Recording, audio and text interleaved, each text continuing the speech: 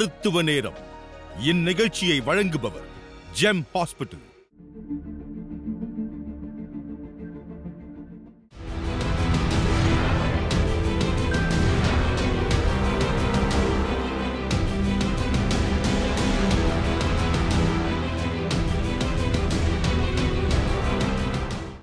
Gem hospital Chennai Kovai Erode Tiruppur Thrissur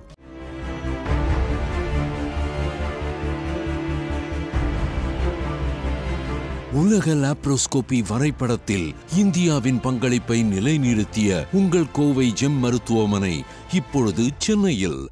உலகின் எந்த ஒரு மூலையில் அறிமுகமாகும் எந்த ஒரு மருத்துவ தொழில்நுட்பமும் சில நாட்களில் ஜெம் மருத்துவமனைக்கு நோயாளியின் பயன்பாட்டிற்கு வந்துவிடும். அந்த வகையில் ரோபாட்டிக் அறுவை சிகிச்சையை ஜெம் மருத்துவமனைக்கு கொண்டு வந்தார் நிறுவனர் டாக்டர் சி பழனிவேலு அவர்கள். ஒவ்வொரு ஆப்ரேஷனுமே அந்தந்த ஆப்ரேஷனுக்கு தகுதியினுடைய தன்மைக்கு தகுந்த மாதிரி வரும். இப்போ ஒட்டுக்குடல் பித்தப்பை கற்கள் ஹெர்னியா போன்ற விஷயங்கள்லாம் மிக குறுகிய நேரத்தில் பண்ணிடலாம் அதே சமயத்தில் கணையத்தினுடைய புற்றுநோய் எடுக்கணும். கல்லீரல் அறுவை சிகிச்சை எடுக்கணும். அதே மாதிரி மலக்குடல் உணவு குழாய் இறைப்பை போன்ற புற்றுநோய் அறுவை சிகிச்சை எல்லாம் ஆப்ரேஷன் செய்யக்கூடிய ட- நேரம் வந்து கூடுதலாக தான் இருக்கும். அதை வந்து நம்ம வந்து ஓப்பன் பண்ணி வயிற்று திறந்து செய்யக்கூடிய இப்போ கன்வென்ஷனல் முறை முறைன்னு சொல்கிறோம்ல அந்த சிகிச்சையில் செய்யக்கூடிய நேரத்தை விட லேப்ரோஸ்கோப்பியில் குறைஞ்சது. அதை விட இந்த ரோபோட்டிக் சர்ஜரியில் இன்னும் குறைவாக நேரத்தில் அந்த ஆப்ரேஷனை மிக துல்லியமாக செய்யலாம். இந்தியாவில் three D and four K robotic laparoscopy அறுவை சிகிச்சையை அறிமுகப்படுத்திய முதல் மருத்துவமனை ஜெம் மருத்துவமனை. இப்போ நீங்க பார்க்க போறது வந்து நம்ம அறுவை சிகிச்சை துறையிலேயே ரொம்ப அதிநவீனமான ஒரு டெக்னிக் அதுதான் ரோபோட்டிக் சர்ஜரி அப்படின்னு. ஓப்பன் சர்ஜரி பண்ணிகிட்டு இருக்கிற காலத்தில் லேப்ரோஸ்கோபிக் சர்ஜரி வந்தது. லேப்ரோஸ்கோப்பியில் நிறைய டெவலப்மெண்ட் இருந்தது. இப்போ நீங்கள் பார்த்த மாதிரி ஃபோர் கே த்ரீ டி லேப்ரோஸ்கோப்பிலாம் வந்தது. இப்போ அதை விட அதிநவீன தொழில்நுட்ப உதவியோடு வந்தது தான் இந்த ரோபோட்டிக் சர்ஜரி நிறைய பேர் ரோபோட்டிக் சர்ஜரி அப்படின்னாவே ரோபோ தானே டாக்டர் பண்ணோம். உங்களுக்கு என்ன வேலை அப்படின்னு கேட்குறாங்க சுச்சுவேஷன் அதுவும் அல்ல. ரோபோட்டிக் சர்ஜரியாக இருந்தாலும் நம்ம தான் அதை பண்ண வைக்கிறோம். நம்ம நேரடியாக பேஷண்ட்டுக்கு பக்கத்தில் இருந்து நம்ம லேப்ரோஸ்கோபிக் மூலியமாகவோ அல்லது வந்து ஓப்பன் சர்ஜரி மூலியமாகவோ பண்ணாமல் பக்கத்தில் இந்த கன்சோல் அப்படின்ற ஒரு இந்த ஒரு பர்டிகுலர் உபகரணத்தில் நம்ம பண்ண போகிறோம் ரோபாட்டிக் அறுவை சிகிச்சை என்றால் ரோபோ உதவியுடன் அறுவை சிகிச்சை நிபுணர்கள் செய்யும் அறுவை சிகிச்சையாகும். இந்த மாதிரி ரோபோட்டிக் சர்ஜரி அப்படிங்கிறது வயிற்றுக்குள்ளே க மெல்லிய கருவிகளை செலுத்துகிறோம் அந்த கன்சோல் மூலம் கம்ப்யூட்டர் பொருந்திய நம்ம அறுவை சிகிச்சை செய்கிறோம் இதில் வந்து எல்லா வகையான கருவிகளுமே நமக்கு இருக்கிறதுனால வயிற்றுக்குள்ளே செய்யக்கூடிய அனைத்து அறுவை சிகிச்சைகளுமே இந்த ரோபோட்டிக் சர்ஜரி மூலம் செய்யலாம். இப்போ பித்தப்பை கற்கள் எடுத்துக்கங்க. அந்த இதை அந்த அறுவை சிகிச்சை செய்ய முடியும். வயிற்றுக்குள்ளே இருக்கக்கூடிய குடல் இறக்கம் ஏற்பட்டு உண்டாகக்கூடிய ஹெர்னியாவெல்லாம் இதில் செய்யலாம். இப்படி ஒவ்வொன்றா வந்து அனுபவத்தை அனுபவம் உள்ளவங்க யாருமே நல்லா இது வந்து பயிற்சி எடுத்தவங்க எல்லாருமே வயிற்றுக்குள்ளே இருக்கக்கூடிய மலக்குடல் புற்றுநோய் இறைப்பி புற்றுநோய் கல்லீரல் புற்றுநோய் கணைய புற்றுநோய் அப்படி பல வகையான அறுவை சிகிச்சைகளை மிக துல்லியமாக ரோபோட்டிக் சர்ஜரி மூலம் செய்யலாம். இது ந- நம் ஜெம் மருத்துவமனையில் தொடர்ந்து செய்யப்பட்டு வரக்கூடிய செயல்முறையாகும். ரோபோட்டிக் இயந்திரத்தில் நான்கு கரங்கள் உண்டு. இந்த இயந்திரத்தின் கரங்கள் மனித கரங்களைப் போலவே வளையும் திரும்பும் நீளும் சுருங்கும் திறக்கும் மூடும் தள்ளும் இழுக்கும் இறுகப்பற்றும் நீங்கள் இங்கே பார்த்துக்கிட்டு இருக்கிறது தான் பேஷண்ட் கார்ட்டுன்னு சொல்கிறது இப்போ நம்ம இந்த லேப்ரோஸ்கோப்பியில் வயிற்றில் டைரெக்டாக ட்ரொக்கார் போடுறோம். ட்ரொக்கார் வழியாக கருவிகள் வச்சு நம்ம பேஷண்ட் பக்கத்தில் இருந்து நம்ம வந்து ஆப்ரேஷன் பண்ணுவோம்.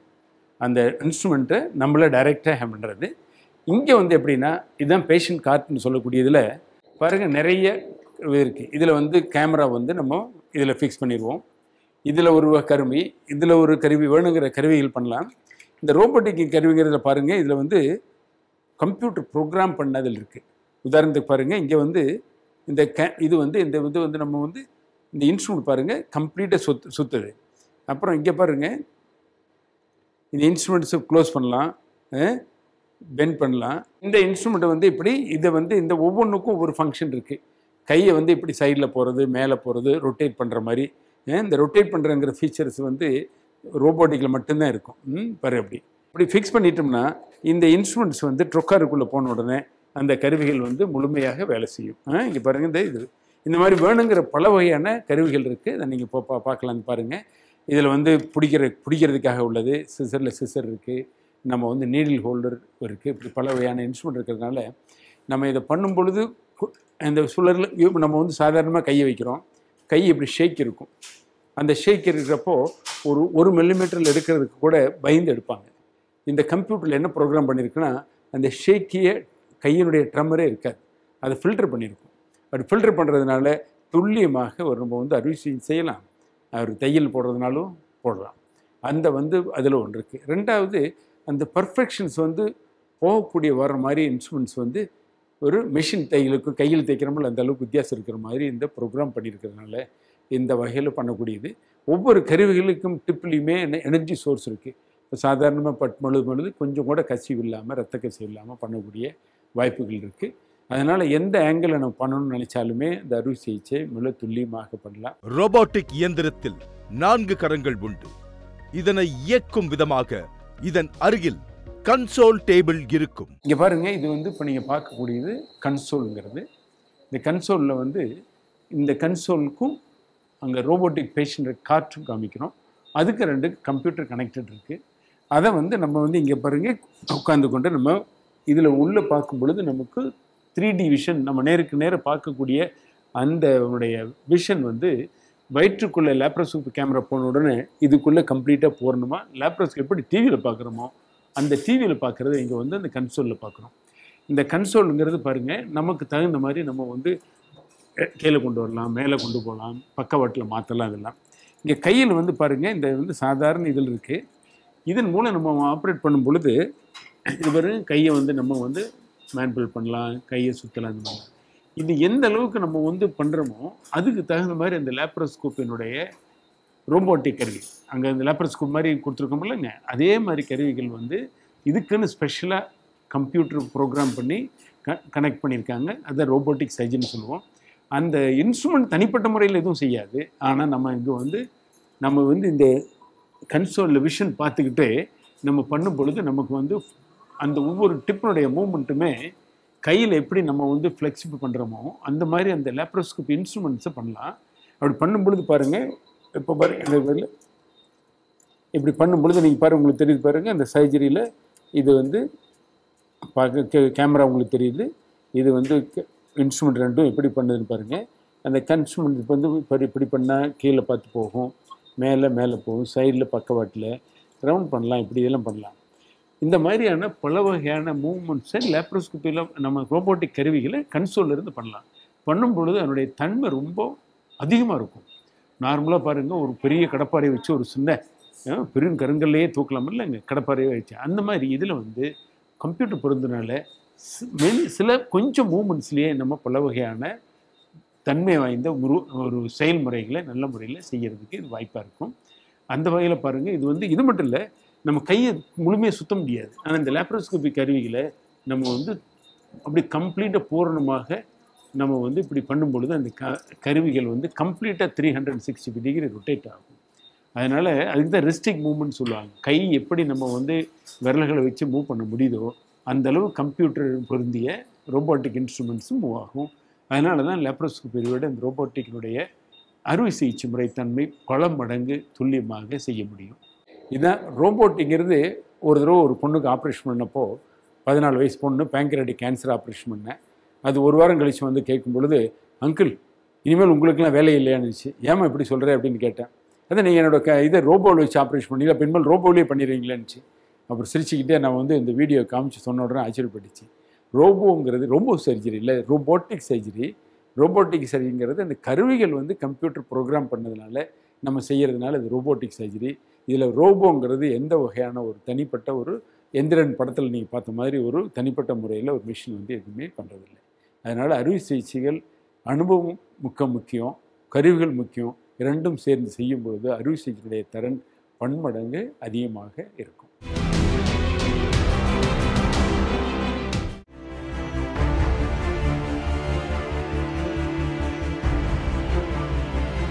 உலக லாப்ரோஸ்கோபி வரைபடத்தில் இந்தியாவின் பங்களிப்பை நிலைநிறுத்திய உங்கள் கோவை ஜெம் மருத்துவமனை இப்பொழுது சென்னையில். ஜெம் மருத்துவமனையின் சிறப்பு சிகிச்சை பிரிவுகள் ஜீரண மண்டல மருத்துவ சிகிச்சை மற்றும் எண்டோஸ்கோபி பிரிவு. உணவுக்குழாய் குழாய் அறுவை சிகிச்சை பிரிவு கல்லீரல் பித்தப்பை மற்றும் கணையம் அறுவை சிகிச்சை பிரிவு மலக்குடல் பெருங்குடல் அறுவை சிகிச்சை பிரிவு.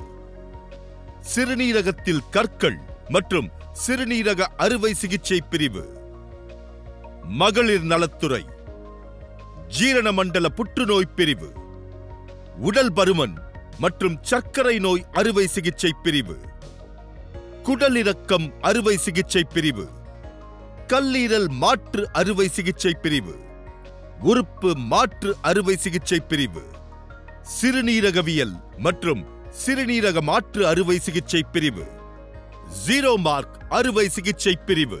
GEM hospital Chennai Kovai Erode Tiruppur Thrissur robotic அறுவை சிகிச்சையின் நுணுக்கத்தை ஒரு எடுத்துக்காட்டுடன் சொல்ல வேண்டும் என்று சொன்னால் ஒரு திராட்சையின் தோலை எந்த ஒரு சேதாரமோ பாதிப்போ இல்லாமல் உரிக்கக்கூடிய நுணுக்கத்தை போன்றது. ஓர் அறுவை சிகிச்சை நிபுணரின் அனுபவமும் ஞானமும் இந்த இயந்திரத்தின் நுணுக்கத்துடன் இணையும் போது அறுவை சிகிச்சை மிக சிறப்பாக வெற்றியடைகிறது இந்த லெப்ரோஸ்கோபி மூலம் பண்ணுறதை விட இந்த லெப்ரோ ரோபோட்டிக்கில் பண்ணும்பொழுது என்ன ஆயிருந்தீங்கன்னா அந்த நம்ம வந்து எவ்வளோ கல் துல்லியமாக செய்கிறோமோ அந்த அளவுக்கு தான் ஒரு புற்றுநோயை எடுத்துக்கிட்டால் முழுமையாக அகற்ற முடியும். அது மட்டும் இல்லை ரத்த சேதம் இல்லாமல் பண்ண முடியும்.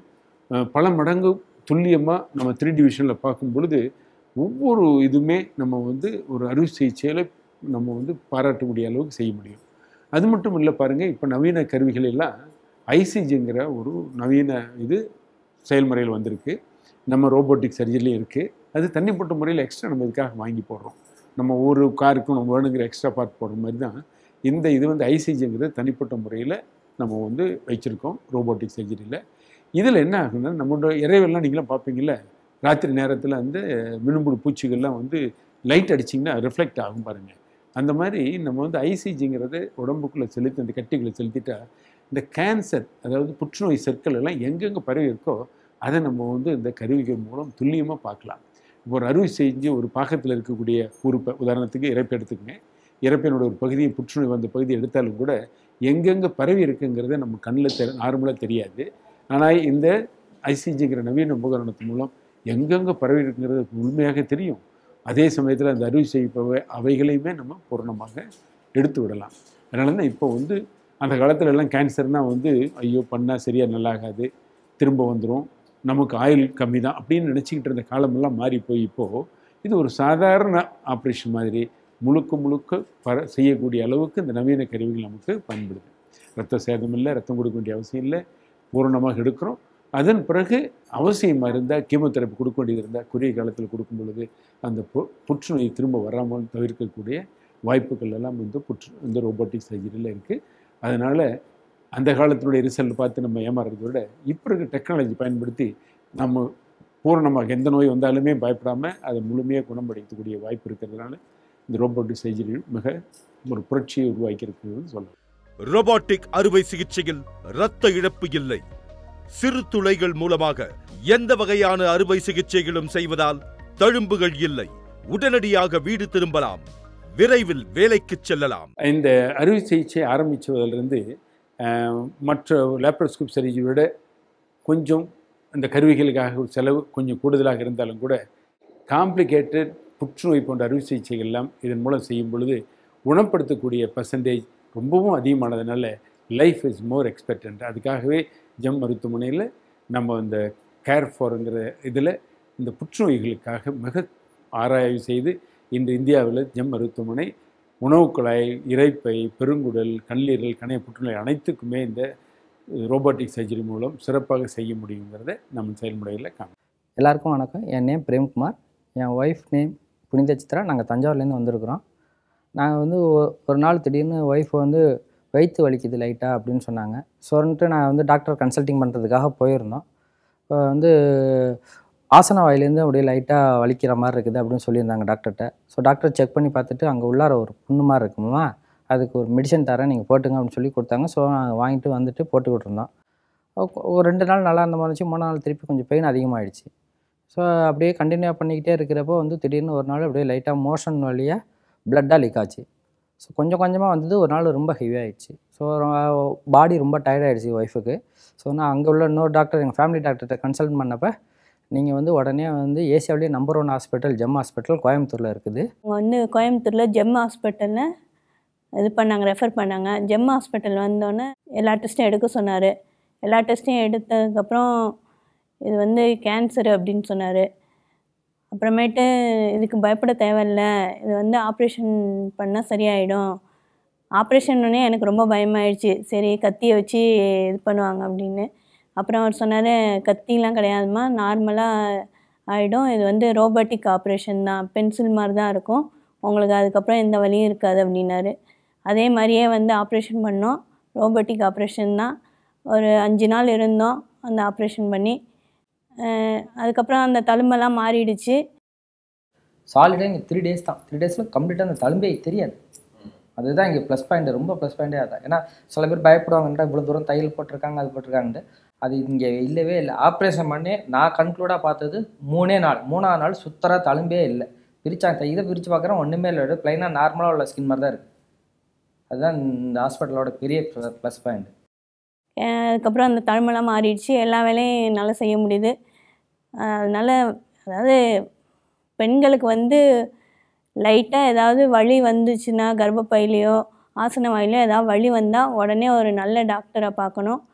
அப்படியே உங்களுக்கு எந்த டாக்டரும் அங்கே உங்கள் லோக்கலில் இது வரலன்னா நேராக ஜெம் ஹாஸ்பிட்டல் வந்துடுங்க ஜெம் ஹாஸ்பிட்டல் வந்து நல்ல டாக்டரை பார்த்துக்கலாம். எனக்கு ஒரு பொண்ணு இருக்கா. அவளை பார்த்துக்கிறதுக்காகவே ரொம்ப தைரியப்படுத்தினாங்க டாக்டருங்கெலாம் வந்து. நீங்கள் பயப்பட தேவையில்ல இனிமேல் எதுவும் இல்லை. ஆப்ரேஷன் பண்ணோன்னே எல்லாம் கிளியர் ஆகிடுச்சு இப்போ நான் நார்மலாக இருக்கேன். ட்ராவல்லாம் பண்ணுறேன் தஞ்சாவூர்லேருந்து தான் வந்துட்டு போயிட்டுருக்கேன். கோயம்புத்தூருக்கு. எந்த வழியும் இல்லை. எல்லா வேலையும் செய்ய முடியுது என்னால். ஃபஸ்ட்டு ஆப்ரேஷன் பண்ணாங்க. ஒரு காலையில் ஆப்ரேஷன் பண்ணி நைட்டு வந்து ஐசியூவில் வச்சாங்க. ஐசியூலேருந்து காலையிலேயே என்னை ரிலீவ் பண்ணிட்டாங்க. அதுக்கப்புறம் ஒன்றும் பெயின்லாம் ஒன்றும் தெரியல. பெயினில் இல்லைன்னு சொல்லலாம். சுத்தமாகவே பெயினே இல்லை. ரொபாட்டிக்கில் பண்ணது கொஞ்சம் ஹாப்பியாக இருந்துச்சு.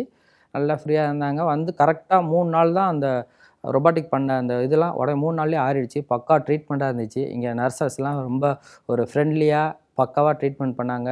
எவ்ரி வை எவ்ரிடே வந்து டாக்டர்ஸ் நிறையா டெய்லி ஒன் ஹவருக்கு ஒன்ஸ் டாக்டர்ஸ் வந்து செக்கிங் பண்ணிக்கிட்டே இருந்தாங்க. ஸோ எல்லாமே பக்கா பர்ஃபெக்டாக இருக்குது ஜெம் ஹாஸ்பிட்டல் வந்து நம்பர் ஒன் கேள்விப்பட்டேன். எனக்கு ரொம்ப ஹாப்பியாக இருந்துச்சு. இப்போயும் நம்பர் ஒன்னாக தான் இருக்குது எல்லா டாக்டர்ஸும் ரொம்ப ஃப்ரெண்ட்லியாக இருக்கிறாங்க. தேங்க்யூ இப்போ செய்யக்கூடிய காம்ப்ளிகேட்டட் ஆப்ரேஷன் ஒன்று ஒன்றா இப்போ வந்து பண்ணிக்கிட்டு இருந்தோம். ஆதரம் சாதாரண ஆப்ரேஷன் லேப்ரோஸ்கோப்பியில் ஆரம்பிக்கிற காலத்தில் தொண்ணூறுல எல்லாம் சொன்னாங்க லேப்ரோஸ்கோப்பியே வராதுன்னு சொன்னாங்க. லேப்ரோஸ்கோப்பி படிப்படியாக வளர்ந்து இன்று அனைத்து அறுவை சிகிச்சைகளுமே செய்யலாம். அதே மாதிரி ரோபோட்டிக் சர்ஜரியும் ஆரம்பத்தில் வர்றப்போ எப்பொழுதுமே அதனுடைய ஆரம்ப கட்டம் சுலபம் மெதுவாகவும் இருக்கும். எல்லா அறுவை சிகிச்சையும் செய்ய முடியாத சூழ்நிலை இருக்கலாம். இப்பொழுது அனுபவத்தின் மூலம் எல்லா அறுவை சிகிச்சையும் செய்ய முடிய அளவுக்கு வந்தது. இப்பொழுது மிகவும் பிரபலமாக பேசக்கூடிய ஆப்ரேஷன் வந்து டிரான்ஸ்பிளான்ட். உடனா உறுப்பு மாற்று அறுவை சிகிச்சைங்கிறது இப்பொழுது எல்லாருமே வேப்பாக பேசிக்கிட்டு இருக்கோம் அது மட்டும் இல்லை இந்த ஒருவர் இன்னொருவருக்கு கல்லீரல் ஆப்ரே கொடுக்கணும் ஒரு பகுதி கொடுக்கணும். அல்லது ஒரு சிறுநகரத்தை இன்னொருத்தருக்கு மாற்று அறுவை சிகிச்சை கொடுக்கணும்.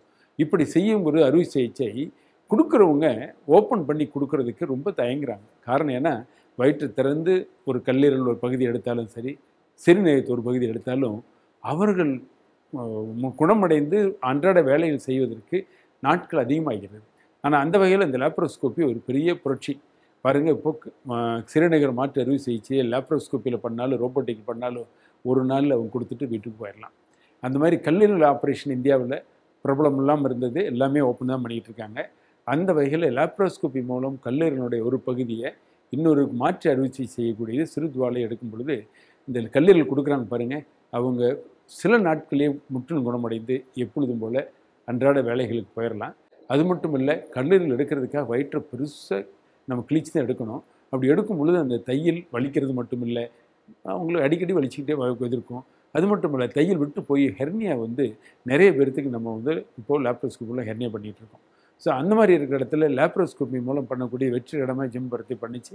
அது வந்து மக்களிடையே ரொம்ப வரவேற்பை ஏற்படுத்தியிருக்குது.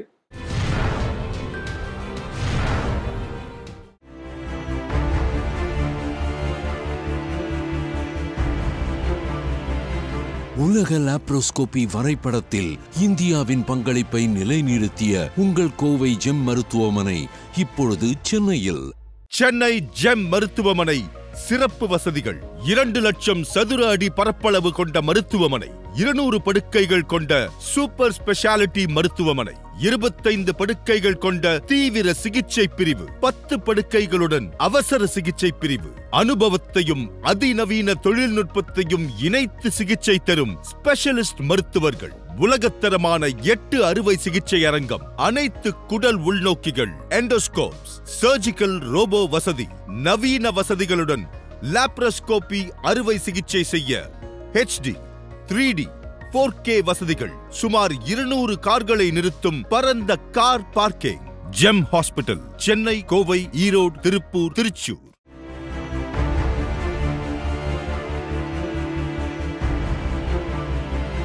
உலக லாப்ரோஸ்கோபி வரைபடத்தில் இந்தியாவின் பங்களிப்பை நிலைநிறுத்திய உங்கள் கோவை ஜெம் மருத்துவமனை இப்பொழுது சென்னையில். நோய் குறித்த சந்தேகங்களுக்கும் சிகிச்சை முறைகளை பற்றி தெரிந்து கொள்ளவும் தொடர்பு கொள்ள வேண்டிய முகவரி GEM hospital institute of laparoscopy gastro gastroenterology and robotic surgery centre GEM hospital Chennai number two twenty seven by two C two MGR road Perungudi Chennai six lakh ninety six Tamil Nadu GEM hospital Coimbatore number forty five Pankaja mill road Ramanathapuram Coimbatore six four one zero four five Tamil Nadu GEM hospital Erode number five Muthukaruppan street Gandhi Nagar Erode six three eight double zero nine Tamil Nadu GEM hospital Tiruppur number ninety seven second street sixty feet road JG Nagar Tiruppur six four double one zero two Tamil Nadu GEM hospital Thrissur Paravattani Kottai Thrissur six eight triple zero five Kerala தொடர்பு கொள்ள வேண்டிய cellphone number nine double zero three nine three two three two three website W W W dot GEM hospitals dot com W W W dot obesity surgery India dot com W